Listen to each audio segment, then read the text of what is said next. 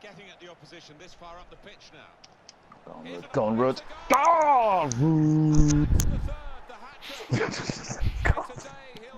right, we're not Holland anymore. I can't deal with this. Well, God, it's like the good old days. Patrick. Hat trick.